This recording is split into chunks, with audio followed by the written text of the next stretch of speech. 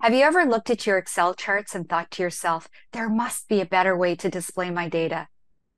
Well, mark your calendars for September 14th at 12 p.m. Eastern Standard, where we'll take your basic charts and turn them into dazzling designs with our free webinar, Create Custom Data Visualizations in Excel, Impress for Success.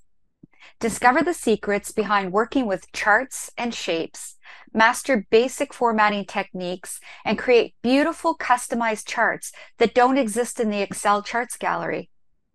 Why settle for ordinary when you can captivate your audience with a custom masterpiece? Register below and join us for this free webinar on September 14th and elevate your Excel game.